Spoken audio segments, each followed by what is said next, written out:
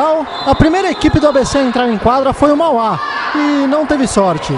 O Santos venceu por 16 a 3.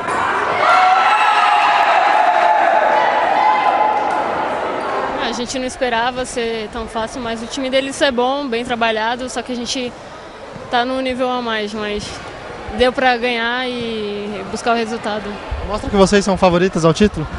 Não, ainda tem muito jogo pela frente, a gente só tem que trabalhar mais para conseguir as vitórias. Liliana, o que faltou pro seu time hoje? O time do Santos é muito forte, né? Não, faltou goleira e faltou é, força de vontade da minha equipe, porque eu sei o potencial delas, eu sei o que elas sabem jogar e hoje elas não entraram em quadro, simplesmente ficaram lá no alojamento e não vieram pro jogo.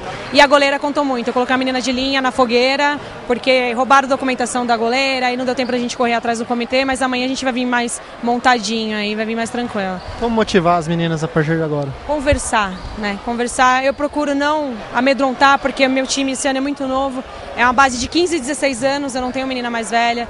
As minhas mais velhas estouraram ano passado e tentar colocar um pouquinho de tranquilidade, mexer no psicológico e conversar bastante com elas, porque tem que ter paciência. Faltou maturidade, faltou experiência e aí vamos trabalhar para que isso aconteça ao longo do tempo aí.